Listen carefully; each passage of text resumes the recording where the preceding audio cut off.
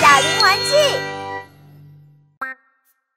世界上存在着勤劳精灵和懒惰精灵，只知道玩，什么事儿都不做的懒惰精灵。你问我是谁？我就是大名鼎鼎的懒惰精灵啊！我希望世界上所有的人都和我一样懒惰，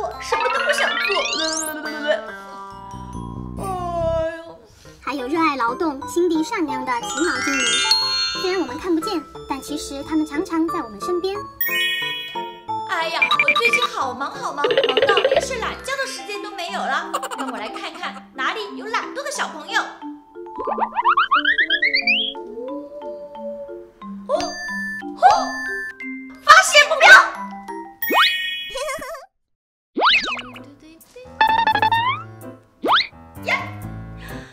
玩游戏的小朋友变得更懒惰了。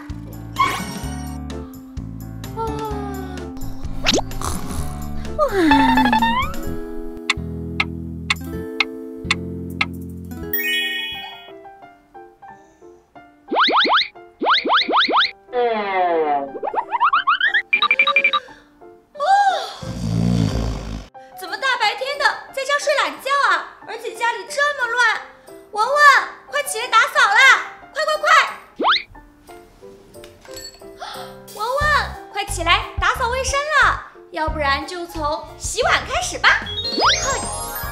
嗯，怎么回事？感觉浑身充满了力量。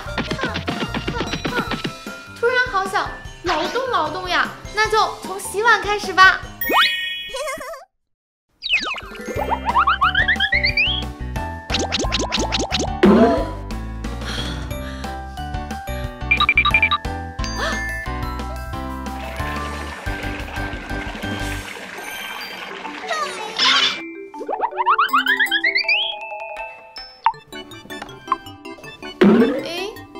水了，那还是以后再洗吧。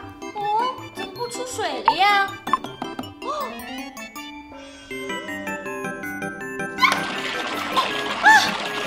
啊，哦，哈哈哈哈哈！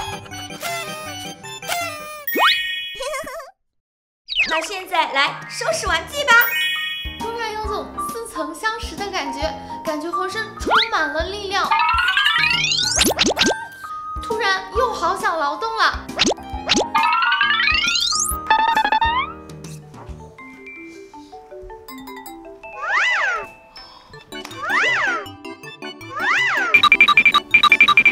嗯，怎么感觉还有这么多玩具没有整理啊？反正明天还是要玩的，不然就这样吧。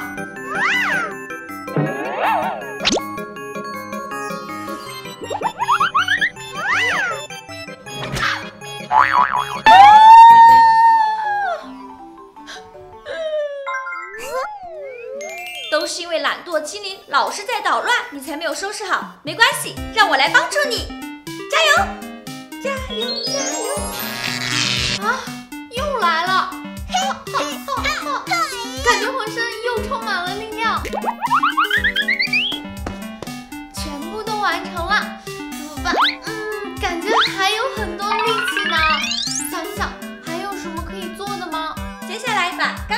擦干净吧。热爱劳动的文文啊，真的是太棒了啊！Oh no！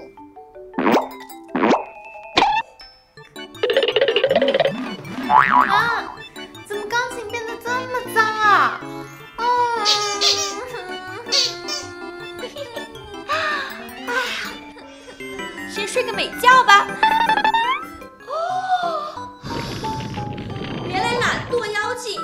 喜欢黑色啊？好啊，那我就送你一个黑色的礼物。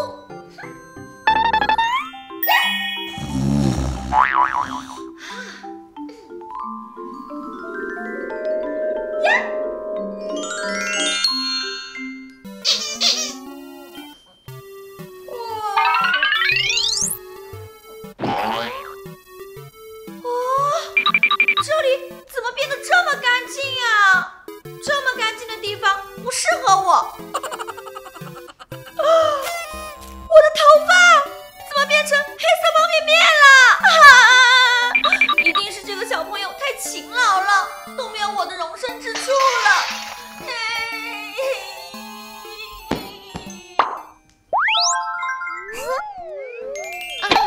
是谁啊？我，我是劳动精灵啊。文文，你今天一天的辛勤劳动，我都看在眼里了。哇，劳动的这一天，你感觉怎么样啊？真的是不容易啊。不过呀，看到家里干干净净的，我也明白了劳动的意义，以后也会努力坚持的。只要你每天保持勤劳，懒惰精灵就不会来到你身边了。而且我们还要尊重所有的劳动人民。你知道为什么会有五一劳动节吗？不知道。劳动节啊，是为了纪念劳动人民对社会的付出，以及他们勇敢的争取权益啊！原来是这样啊！那我要去告诉其他小朋友关于劳动节的意义了。那我先走了，拜拜。